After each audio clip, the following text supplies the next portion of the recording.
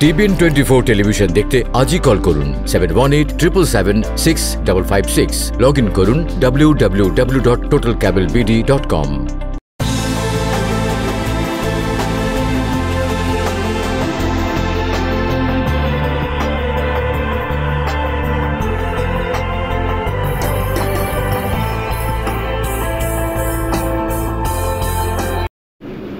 সুপ্রিয় দর্শক TVN analysis অনুষ্ঠানে আপনাদেরকে স্বাগত দীর্ঘদিন ধরে সদস্য Mohammad N Majumdar L L M. New York City service এবং চেজ ব্যাংকের প্রাক্তন কর্মকর্তা ব্রোঞ্জের একজন প্রতিষ্ঠিত ল ফার্মে কর্মরত আমাদের আজকের অতিথি মোহাম্মদ এন মজুমদার। আমরা যাচ্ছি তার কাছে? কেমন আছেন? থ্যাংক ইউ নাইস প্রেজেন্টেশনের জন্য। জি আসলে আপনার নামে বলতে গেলে তো আসলে লম্বাভাবে বলতে হয় কারণ আপনি অনেক দিন ধরে আপনি কর্মরত আছেন এবং পাশাপাশি আমাদের বাংলাদেশিদের অধিকারের ব্যাপারে আপনাকে আমরা সবসময় সচেতন দেখতে পাই। তো আমরা আপনার সাথে কথা বলব। তার আগে আমরা একটু বলতে চাই সুপ্রিয় দর্শক আপনারা যদি সরাসরি এন মজুমদার সাহেবের সঙ্গে কথা বলতে চান আইন এবং আইন সংক্রান্ত অন্যান্য বিষয়ে ইমিগ্রেশন পাশাপাশি ধরেন আজকে যদি আমরা বলি যে সেন্সাস সেন্সাস শুরু হচ্ছে আপনার ইলেকশন পার্টিসিপেশনের বিষয়ে কি- কি আছে সেগুলো বিষয়ে জানতে পারেন। এই এইরকম আরও যা যা আছে সেই বিষয়গুলো নিয়ে আপনারা প্রশ্ন করতে পারেন। আমাদের number six four six three zero seven nine eight two eight six four six three zero seven nine eight two eight. আর ফেসবুকে আমাদের অনুষ্ঠানটি আপনারা সরাসরি দেখতে পারেন টিভিএন টোয়েন্টি ফোর লিখে সার্চ দিলেই সেখানে প্রশ্ন লিখলে সেখান থেকে আমরা উত্তর দেওয়ার চেষ্টা করব। কী নিয়ে ব্যস্ততা ছিল আপনার গত সপ্তাহে? শিওর ব্যস্ত ছিল ইলেকশন নিয়ে কাজ নিয়ে ব্যবসা নিয়ে। Always I am I am always very optimistic about myself about my society about my country about the uh, new generation. So always i'm always busy always do different thing and i like to be busy. Correct correct আমি একটা জিনিস বলতে চাই আপনি তো democratic district leader candidate Robin Dias প্যানেলের এই সম্পর্কে একটু বলেন। ওয়েল থ্যাংক ইউ এই অপরচুনিটি দেওয়ার জন্য। যদিও এই এইটা এই অনুষ্ঠানটা ওই জন্য না বাট আমাকে যে আপনি বলতে বলেছেন সেটা হচ্ছে আমি অত্যন্ত pleased and honour to share this ব্রংসের রাজনীতি গুরু এবং সালিকা শক্তি রুবিন দিয়া সিনিয়র এবার কংগ্রেশনাল ডিস্ট্রিক্ট ফিফটিনে ক্যান্ডিডেট কংগ্রেসম্যান হিসাবে এবং ওনার সাথে আমাকে ব্যালটে রেখেছেন আমরা সিগনেচার শুরু করেছি ডিস্ট্রিক্ট লিডার হিসাবে। আমি আমি মনে করি আমি উইন করে ফেলেছি। কারণ ওনার মতো প্যানেলে থাকতে পারা যারা আজকে পঞ্চাশ বছর রাজনীতির সাথে আছে বংশের রাজনীতিক শালিকা শক্তি যাকে বলা যায় যে এত বেশি ডেডিকেটেড এত বেশি ক্লিন এত বেশি অনেস্ট অ্যান্ড সিনসিয়ার এই লোকের সাথে আমি I am very honour to run with him এবং আমি এই যে পার্টিসিপেশনের সুযোগ পেয়েছি, এটাই আমাদের জন্য আমরা গৌরবের বিষয়, আমরা নিউ ইমিগ্রেন্ট আসছি মাত্র এই দেশে, আমরা আমাদের স্থান করে নিচ্ছি। আমি অনুরোধ করব সবাইকে এই নির্বাচনে পার্টিসিপেট করুন, ভোট দিন সেন্সাসে participation itself is much better than winning winning is the participation nice এটা আমাদের বাংলাদেশি কমিউনিটির জন্য আসলে বিজয়ের মতো আপনার এই অংশগ্রহণটা।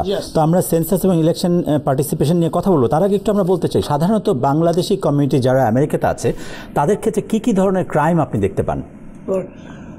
ক্রাইম না আমি বলব এখন বাংলাদেশি কমিউনিটি জি। খুব বেশি ক্রাইমের ভিকটিম হচ্ছে। জি। কারণ এবং এবং আরও আরও দুঃখজনক যে ক্রাইমের ভিকটিম হইয়া তারা এটা আবার ভিকটিম হিসেবে প্রকাশ করতেও চায় না। গত সপ্তাহে আমি তিনটা লোকে আমাকে কল দিছে। ফার্স্ট ইনসিডেন্ট নিউ ইয়র্ক শহরে সে সাইকেল চালাইয়ে ফুড ডেলিভারি দিচ্ছিল। ও সাইকেল চালাতে গিয়া একজনের গায়ে দশ দশ ধাক্কা হয়ে এসে পড়ে গেছিল মাটিতে। পড়ে যাওয়ার পরে ওই লোকটা রাশান লোক সে মাসাল দেখাই বলতেছে তুমি তো তোমার ফল্ট এটা তুমি পুলিশ কল করবে না। You better go to hell এটা বলে সে গায়ে টান দিয়ে চলে গেছে। এই লোকটা মাইর খাইয়া ঘরে চলে এসেছে। অথচ তার উচিত ছিল on the spot police call করা। অন দ্য স্পট যখন পুলিশ কল করতো ওই লোকের ইন্স্যুরেন্স ছিল। ওই ইন্স্যুরেন্সের এগেনস্টে আমরা ক্লেম ফাইল করতে পারতাম. Now you have nobody to file, nobody to sue. There is no police report. Look like nothing happened. So very important that any incident, anything happen, call police. If there is an injury, go to the uh, hospital, get the treatment. So there is enough proof that you are victim. Second incident হচ্ছে আমাদের ব্রন্সের এক বাসিন্দা সে Alice Avenue থাকে। তার গায়ে সামনে দিয়ে এক এক লোক বলতেছে তুমি হংক দিলা কেন দিছে তাকে নামিয়া তাকে গায়ে থেকে নামিয়া উপর্য করে মারধর করে রাস্তা রাখিয়া চলে গেছে। সেই লোকটা হতবম্ব হইয়া সেখানে সে পুলিশ কল করে না ওজন পার্কে কিন্তু আমরা বেশ কয়েকটা ঘটনা ঘটতে ওজন পার্কের দুইটা ঘটনা আমি সশরীরে গিয়েছি। একটা লোক সেকশন এইটে থাকে এই লোকটা আগামীকালকে আসবে। কারণ তাকে আমি এটা খুব ভালো কথা মনে করেছেন প্রত্যেকটা লোক কিন্তু যখন দেখা গেলো যে কে তাকে মারলো কোনো হদিস নাই। তখন তারা ক্রাইম ভিক্টিম বোর্ড একটা পিটিশন ফাইল করতে পারে for loss of wages loss of loss of money loss of property aggravation এটার জন্য, এবং সিটি একটা ফান্ড থাকে, সেখান থেকে তারা খোসা পাবে। তো আমি কি, আমি ওকে নিয়ে আসছি, নিয়ে আসি আমার অফিসে গত সপ্তাহে এটা ফিল আপ করি পিটিশন ফাইল করছে এবং সিটি রেসপন্স করছে। তো আমি সবাইকে এনকারেজ করি, যদি কেউ ভিক্টিমাইজড হয়ে থাকেন you must speak up you must report it and যদি কাউকে না পাওয়া যায় স্টিল আপনি ক্রাইম ভিক্টিম বোর্ডে একটা পিটিশন করতে পারেন। এই পিটিশনটা আমি ফ্রি করে থাকি। আপনাকে আপনার কোনো কিছু পয়সা দিতে হবে না। Just show off Saturday is the best day Saturday ten to one o'clock আমাদের ট্রেন স্টাফ থাকে আমরা ফিল আপ করবে এবং make sure you get some compensation for এই যে এই যে নানা রকম ইনসিডেন্টগুলো ঘটছে এটা তো ধরেন কয়েকদিন আগেও ছিল না। আবার আমরা দেখতে পাই যে ওজন পার্কে বেশ কয়েকটা ঘটনা ঘটলো। আবার ব্রঞ্জে আমরা কিছু ঘটনা দেখতে পাই। এর কারণ কি আসলে আপনি মনে করেন? আমি মনে করি এটা একটা টার্গেটের চক্র আছে। এরা মনে করে বাংলাদেশিরা ইনোসেন্ট এবং বাংলাদেশের কাছে পয়সা আছে এবং একে ইজিলি টার্গেট করা যায়। এটা এটা ক্রাইম স্ট্র্যাটেজি এরকম। আর একটা গ্রুপ আমি মনে করি যারা ইসলাম, মুসলিম বিদ্বেষ একটা কাজ করতেছে, একটা ডিসক্রিমিনেশন কাজ করতেছে, এই ধরনের একটা লোক, এই ট্রামের দলীয় লোকেরা অনেক সময় আমি মনে করি এই ধরনের নিরীহ লোককে আক্রমণ করে। দেখেন ওজন পার্কে শুধু একটা না শুধু কয়েকটা মার্ডার হয়েছে সেখানে। সেখানে আমাদের কয়েকটা লোক ফান্ড হানি করেছে। কারণ আর একটা ওয়ান অফ দ্য রিজন হচ্ছে দেখা গেল কি বেশিরভাগ আমাদের ব্যবসা বাণিজ্য শিক্ষায় দীক্ষায় আমাদের লোকেরা বেশি সরগরম হয়। তখন লোকেরা ঈশান্বিত হয়ে যায়। একটা একটা গ্রুপ অফ পিপল প্রপার্টির দাম বাড়ি যায়। র্যান্ট বেশি হয়ে যায়, তখন তারা মনে করে because of this people we are we have to pay more rent because of this people property value going high so একটা শ্রেণির লোক এটাকে হিংসা, হিংসাবশত করে থাকে। সো আমরা স্মল কমিউনিটি হিসাবে we must work very closely with the police department with the elected official এবং আমরা বলব প্রিকশন হিসাবে, গাড়ি থেকে যখন আপনি নামবেন, গাড়ি থেকে টেন ডলার ফিফটিন ডলার দিয়ে উবারে বা ট্যাক্সিতে চলে যাবেন, বাসায় হাঁটতে নাই।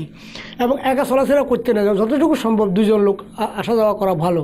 তো কতগুলো প্রিকশনের যদি থাকে তাছাড়া একটা জিনিস দেখা গেলো, আপনাকে ইন্টিমিডিয়েট করতেছে, যেমন আপনি গাড়ি চালাইতেছেন অযথা হর্ন দিয়া আপনাকে খারাপ কিছু বলল। তো best way to do that avoid and go ধরুন শহীদ লস্কর নামে একজন প্রশ্ন করেছেন। তিনি বলেছেন যে দেখেন আমার তো এখন আমি গ্রিন কার্ড নিয়ে চলাফেরা করছি। এখন আমি যদি এই ধরনের কোনো কিছুতে কোনো ইনসিডেন্ট ঘটে আমি কি করব এবং ইন দ্য লং রান আমার কোনো সাফারিংস হওয়ার চান্স আছে কি নট এট অল যদি আপনার গ্রিন কার্ড না শুধু যদি আপনার গ্রিন কার্ড নাও থাকে যদি আপনি প্রুভ করতে পারেন you are one of the victim in the cities land in Americas আমেরিকার ভূখণ্ডে যদি আপনি নির্যাতিত, নিপীড়িত হয়ে থাকে থাকেন দেয়ার আর সিচুয়েশন আপনি গ্রিন কার্ডও পাইতে পারেন। এবং আপনি গ্রিন কার্ড দাঁড়িয়ে গ্রিন কার্ড দাঁড়িয়ে নয় বা সিটিজেন বা সিটিজেন নয় ভিকটিমকে করে জিজ্ঞাসা করে যে victim is a victim victim will get the remedy victim will get help এটা আপনি মনে করবেন যার গ্রিন কার্ড নাই, বা যে গ্রিন কার্ডধারী তার অধিকার এবং আমি যে সিটিজেন অধিকার same thing in terms of the crime strategy যদি আপনাকে কেউ ভিক্টিমাইজ করে you must speak up you call police call nine one one call three one one এইটাকে আপনারা আননোটিস এবং আনরিপোর্টেড রাখবেন না। এই ধরনের ঘটনা যদি স্কুল কলেজে ঘটে থাকে ধরেন আপনার ফ্যামিলির কোনো একটা সন্তানকে বা কোনো একটা স্কুলে বা অন্য কেউ হয়তো আপনাকে হিট করেছে বা ইয়ে করেছে বাবা মারা সাধারণত যন্ত্র ঝামেলায় জড়াতে চায় না তাদের ক্ষেত্রে করণীয় কি? আমি স্ট্রংলি এনকারেজ করব দেয়ার আর সিচুয়েশন সেখানে আপনার কনফিডেন্সিয়ালি রক্ষা করা হয়। যেমন স্কুলে যদি কাউকে বুলিং করা হয় সে বুলিং অনেক অনেক ছেলে মেয়ে আছে ছোটো ছোটো বাচ্চা ফাইলে তাদেরকে মারধর করে স্কুলে ভয়ের ভিতরে রাখে। ইফ দ্যাট ইজ দেখে আপনি নীরবে আপনার প্রিন্সিপালের কাছে রিপোর্ট করতে পারেন। এবং এবং তারা অনেক সময় ওই যে বুলিং ছাত্র যেটা তাকে ট্রান্সফার করতে পারে কর্পোরাল পানিশমেন্ট দিতে পারে এবং তাকে বলবে না যে কে করছে। সুতরাং এখানে অনেক সোশ্যাল সার্ভিস ডিপার্টমেন্ট থাকে স্কুলে হসপিটালে নার্স থাকে স্কুলে পুলিশ ডিপার্টমেন্টের তত্ত্বাবধান থাকে school is not like Bangladesh টনির দরজা খুলিয়ে স্কুলে ছাত্র ঢুকে দিচ্ছে ওরকম না। ওখানে পুলিশ ডিপার্টমেন্ট থাকে এখানে ডাক্তার থাকে এখানে নার্স থাকে। So that everybody secure in safe G nice আমরা একটা ফোন নিতে চাই আমাদের সঙ্গে বেশ কয়েকজন অপেক্ষা করছেন। হ্যালো কে আছেন আমাদের সঙ্গে ফোনে আপনার নাম পরিচয় বলে প্রশ্নটি করবেন। হ্যালো হ্যালো হ্যালো হ্যাঁ জি আমরা শুনতে পাচ্ছি আপনি বলুন। আসসালামু আলাইকুম আমার নাম সুহেল আহমেদ ব্রঙ্ক টাইগার ওয়ালাইকুম আসসালাম। আপনি প্রশ্ন করুন এন মজুমদার সাহেব শুনছেন? টু থাউজেন্ড সিক্সটিনে আমার মাইনর অ্যাসাইলাম এখানে ছিল তো আমি কেসগুলো উইন হয়েছি তারপরে আইটি সিক্সটি রিসেন্টলি আমার অ্যাপ্রুভ হয়েছে। তো এখন আমার কি হবে নেক্সট সেটা জানতে চাই। আচ্ছা শুনুন। এবং জি বলুন। এবং আমার গ্রিন কার্ডের অ্যাপ্লাই করা। তো এখন কি হবে এটাই জানতে চাই। গ্রিন কার্ড যদি আপনি অ্যাপ্লাই করে থাকেন, সেটা ওয়েট ওয়েট করতে হবে এবং যে গ্রিন কার্ড আপনাকে, আপনার যে লয়ার অ্যাপ্লাই করেছে, ওর সাথে আপনি কথা বলে নিশ্চয় আপনাকে সে- সে তথ্য দিবে। এটা ডিফেন্ড করে কবে ফাইল করছেন, কতদিন সময় আছে। সো যদি গ্রিন কার্ড অ্যাপ্লিকেশন করে থাকেন you'll you'll get the approval আচ্ছা নাইস আমি মনে হয় আমার মনে হয় আপনি আপনার প্রশ্নের উত্তর পেয়েছেন। চব্বিশ ফেব্রুয়ারি আপনার পাবলিক চার্জ রিলেটেড নতুন একটি স্টেপ আমরা দেখতে পাচ্ছি। নতুন ফর্ম সংযুক্ত হয়েছে আমাদের অন্যান্য ফর্মের সঙ্গে এবং প্রত্যেকটা ফর্মে সাধারণত দেখা যাচ্ছে যে নতুন একটা জায়গা যুক্ত হয়েছে যেখানে পাবলিক চার্জ বিষয়ক কমিটমেন্ট কমিটমেন্টের মতো চাওয়া হচ্ছে। সেই বিষয়টা আপনি একটু বলবেন? কীরকম আছে? সবার মধ্যে একটা চিন্তার ব্যাপার দেখা যাচ্ছে। দ্যাট শুড বি কনসার্ন কারণ পাবলিক চার্জ যেহেতু সুপ্রিম কোর্ট থেকে জি। এটা রায়টা ট্রাম্প অ্যাডমিনিস্ট্রেশন পক্ষে গিয়েছে এখন তারা চেষ্টা করবে এটাকে বলবৎ করার জন্য এনফোর্স করার জন্য। পাবলিক চার্জ বলতে বোঝা যাচ্ছে যে যারা নতুন গ্রিন কার্ড পাবে তাদের উপরে অনেক রিস্ট্রিকশন আরোপ করা হবে। যারা গ্রিন কার্ড অলরেডি পেয়েছেন they should not be worry about it আর একটা জিনিস খেয়াল করতে হবে আপনাকে। যেমন অনেকে বলে যে আমি ওয়েলফেয়ার খাইতেছি এখন। এটা একদিন খাইতেছেন বা এক মাস এক বছর এটা ব্যাপার না। They will look into the totality of the circumstance last এখানে বলা হয়েছে লাস্ট থার্টি সিক্স মান্থে অর্থাৎ তিন বছরে আপনি আপনার জীবন জীবিকা নির্বাহ কীভাবে করেছেন। যেমন ধরুন একটা লোক যদি এক বছর অসুস্থতা বা বিকলাঙ্গর কারণে কাজ করতে পারে নাই, সেখানে যদি উনি যদি তখন পাবলিক চার্জ নিয়ে থাকে ওয়েলফেয়ার নিয়ে থাকে, ওইটাকে তার দৃষ্টি ব্যবহার করা হবে না। So there are rule there are lot of exception এগুলা আপনারা ইন ইন অফিস কাউন্সিলিং করতে পারেন আপনাদের স্ব অ্যাটর্নির কাছে এবং যারা অ্যাটর্নি অ্যাফোর্ড করতে পারেন না, আপনার local assembly member local city council member local state senator এবং কংগ্রেসম্যানের অফিসে ফ্রি লিগাল সার্ভিস দেওয়া হয়। সেখানে আলাপ করতে পারেন। পাবলিক লাইব্রেরিতে অনেক রিসোর্স আছে। রিসোর্স আপনার we have to gather knowledge কারণ অযথা ভয় পাওয়ার কিছু কারণ নাই। Because there is a rule there is a exception এবং রুলেরও ব্যতিক্রম আছে। তার মানে আপনার কথা থেকে এইটুকু স্পষ্ট যে এটা আসলে আরও অনেক সময় ধরে ছিল এখন কিছুটা স্পষ্ট হচ্ছে সেটা নিয়ে চিন্তিত না হয়ে আসলে স্টেপ নেওয়া জরুরি। ওকে এবার তাহলে আমরা একটু আসতে চাই আপনার সেই নির্ধারিত সাবজেক্ট ইলেকশন পার্টিসিপেশন ইলেকশনে পার্টিসিপেট করাটা কেন জরুরি? ভেরি ভেরি ইম্পর্টেন্ট যেমন একটা জায়গায় একটা ডিস্ট্রিক্টে তার পপুলেশন এবং voter participation very very important যেমন সেন্সাস আসলো সেন্সাস দেখা গেলো এখানে লোকসংখ্যা কম। ওইটার ওইটার ভিত্তিতে কিন্তু এখানে ফেডারেল গ্র্যান্ডগুলো অ্যালোকেট হবে স্টেট গ্র্যান্ডগুলো অ্যালোকেট হবে। আচ্ছা। যেমন হিসাবে দেখা গেছে একটা লোক যদি কম গণনা করা হয় অর্থাৎ ওই এলাকায় বারো হাজার ডলার কম গ্র্যান্ড আসবে। আচ্ছা মানে সেন্সাসে যদি একজন মানুষকে কম গণনা করা হয় অর্থাৎ ওই ডিস্ট্রিক্টে বারো হাজার ডলার কম গ্রেন আসবে.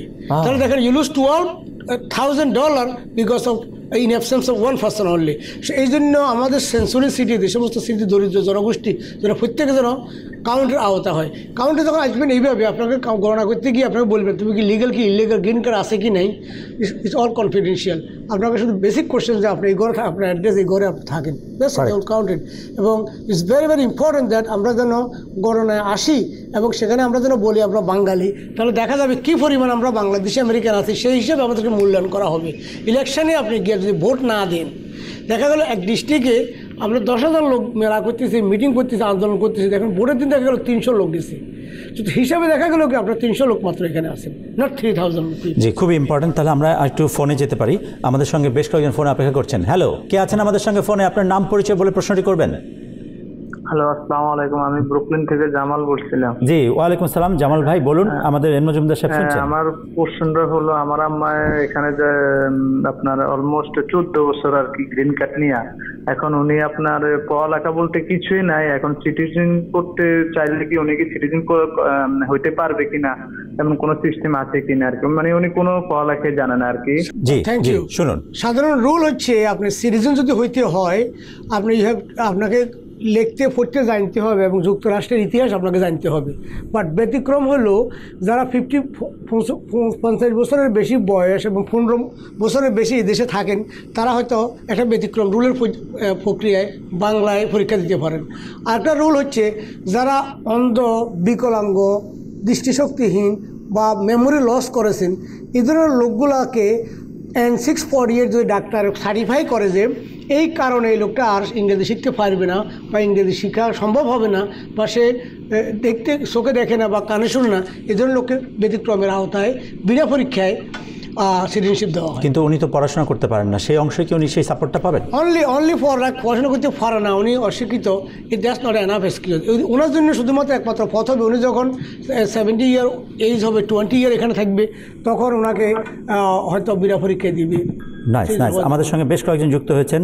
মার্ক ইস্তি ফেসবুকে আবার অ্যাট দ্য সেম টাইম আমাদের সঙ্গে যুক্ত হয়েছেন আশরাফুল আশরাফুল মমিন।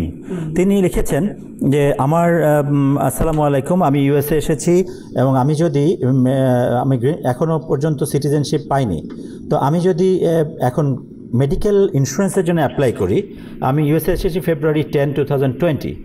February ten এই যে ফেব্রুয়ারি টেন আমি যদি এখন ইন্স্যুরেন্সের জন্য অ্যাপ্লিকেশন করি তাহলে গ্রিন কার্ডের এখনও আসেনি গ্রিন কার্ড পেতে আমার কোনো অসুবিধা হবে কিনা? দয়া করে বলবেন। মানে ইন্স্যুরেন্স বলতে বোঝায় আপনি পেড ইন্স্যুরেন্স কি আনপেড ইন্স্যুরেন্স সেটা হলো ব্যাপার। এখন ওনার তো আসলে কোনো ইনকামই শো করা হয় না, হয় না বা ইনকাম শো করা তো ওনাকে যিনি আনছেন জি। উনি সেখানে সেখানে এফিডেভিটে সাপোর্ট দিয়েছেন যে উনি এখানে ওনার হেলথ ওনার হেলথ কেয়ার ওনার হাউজিং ওনার খাওয়া দাওয়া সব দায়িত্ব নিয়ে একজন আনছেন। এখন টার্ম অ্যাডমিনিস্ট্রেশন যদি এনফোর্স করে সেটা তাহলে ওনার স্পন্সরকারী ওইটা ওই পয়সা দিতে বাধ্য হবে।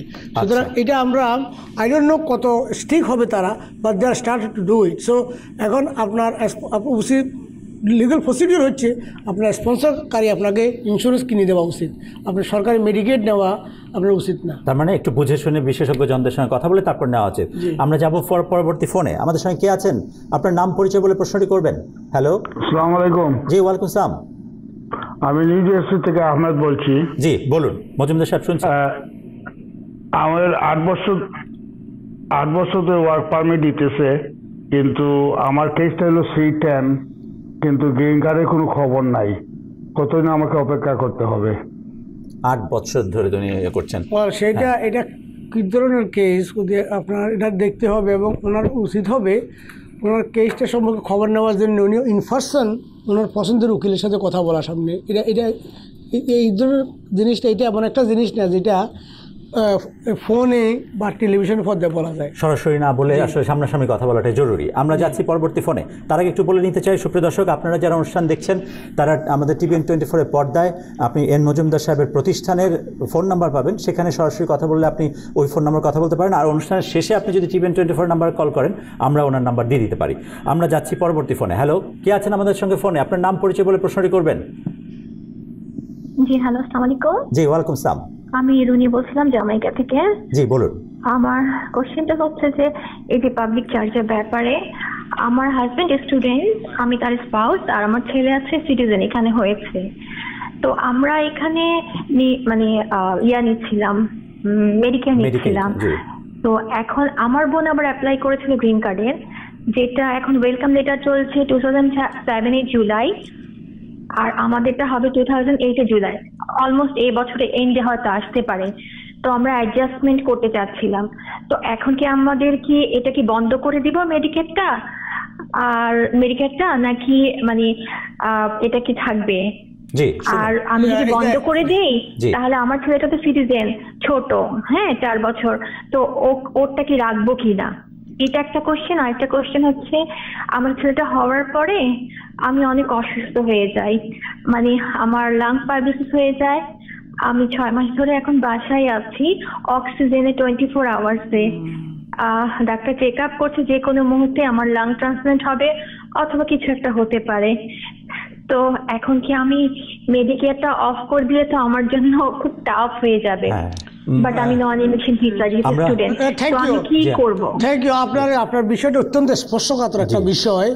এবং আপনাকে আপনার লাইফ থ্রেটিং একটা ডিজিজ নিয়ে আপনি বাস করছেন। নট অনলি দেয়ার একটা vulnerable member of the society বলা হয় এদেরকে যারা ছোটো ছোটো বাচ্চা ইউএস সিটিজেন এরাও ক্ষতিগ্রস্ত হবে।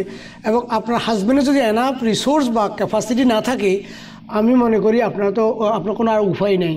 তবে অ্যাডজাস্টমেন্ট অফ স্ট্যাটাসের ফসলে পাবলিক চার্জটা তারা সিরিয়াসলি দেখবে কিন্তু। জি। হ্যাঁ, যে আপনি আপনি কেন পাবলিক চার্জে এবং আপনাকে কেন গ্রিন কার্ড দেওয়া হবে? বিকজ আপনি এতদিন পর্যন্ত জনগণের অলরেডি বোঝা হয়ে আছেন। এ- এইটাই তারা ডিটেক্ট করতেছে। টার্ম অ্যাডমিশনের মূল উদ্দেশ্য হচ্ছে মানুষের যারা যারা জনগণের লাইকলিহুড লাইকলিহুড অর্থাৎ যারা সম্ভাবনা রয়েছে যে ভবিষ্যতে পাবলিক চার্জ হবে এবং এটা এটা কীভাবে বুঝবেন যে গত থার্টি সিক্স মান্থে বেশিরভাগ সময় সে পাবলিক চার্জ ছিল? এটা perfect example but at the same time আপনার এখানে আরও বলা হয়েছে they look in look into the totality of the circumstances that mean কী অবস্থার পরিপ্রেক্ষিতে এই লোকটা মেডিকেট নিয়েছিল। কী অবস্থার পরিপ্রেক্ষিতে ওয়েলফেয়ার ওয়েলফেয়ার রিসিপিয়েন্ট ছিল? সুতরাং আমি অনেস্টলি বলব আমার বিবেচনায় আমি যে যতগুলো এই যে মেমোরেন্ডামগুলো পড়ছি আমি মনে করি you should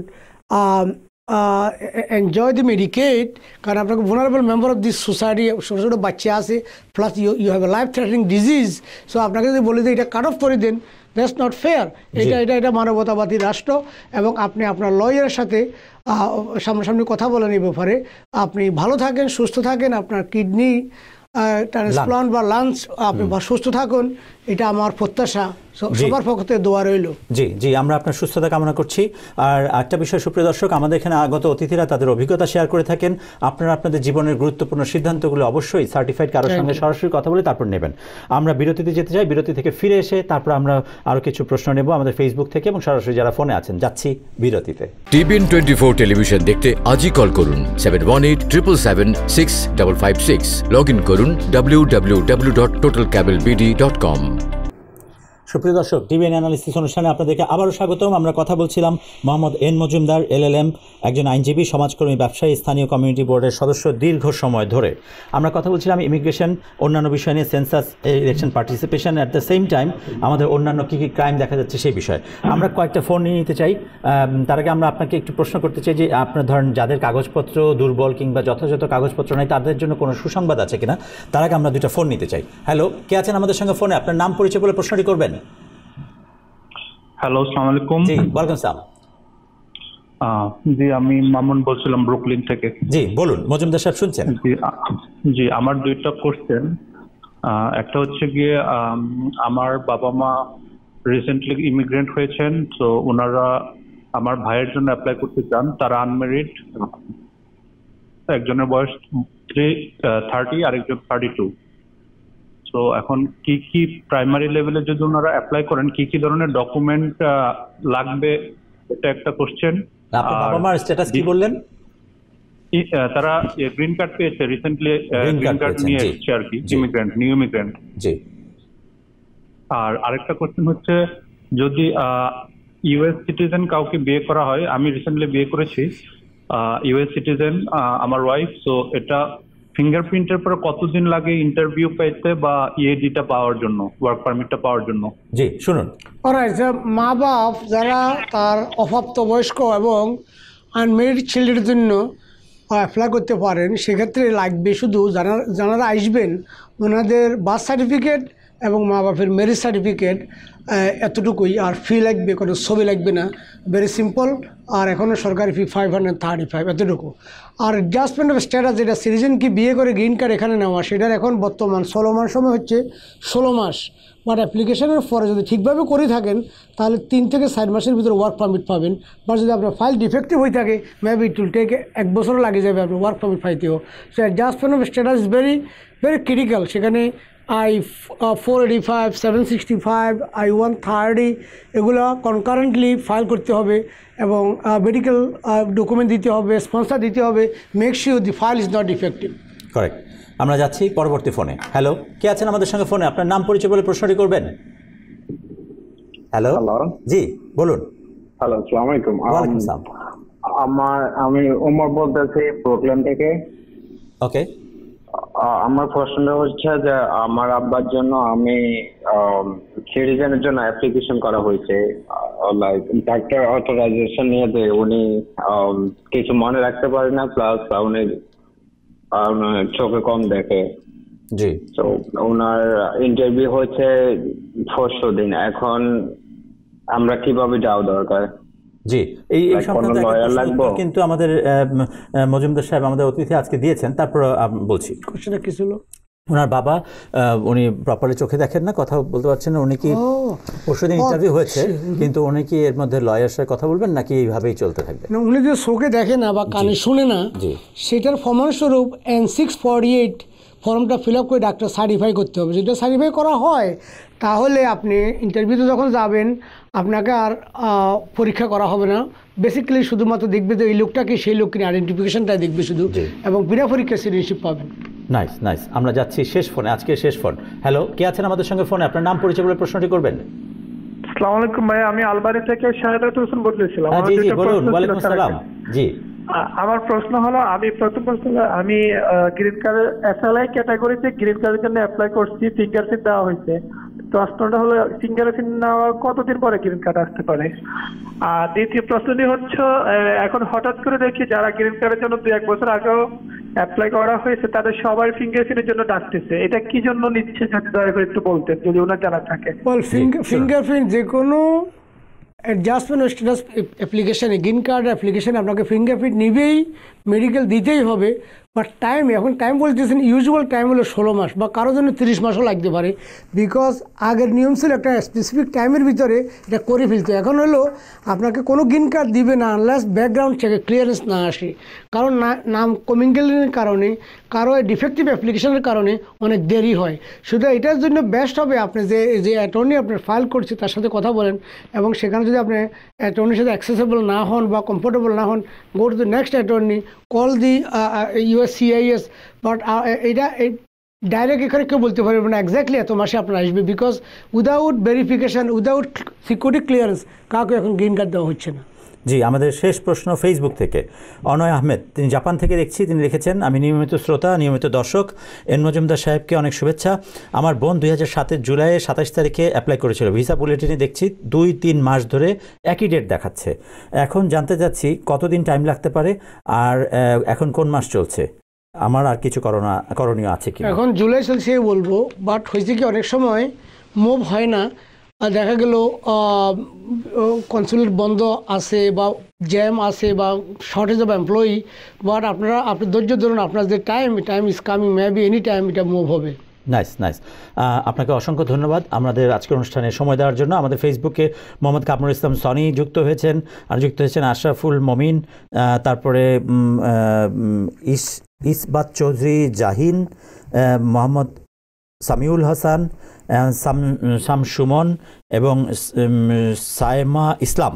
জি মামুন রহমান, আপনাদের সবাইকে ধন্যবাদ আমাদের সঙ্গে থাকার জন্য। আজকে আমাদের আয়োজন এই পর্যন্তই। ভালো থাকবেন সবাই। আবার দেখা হবে।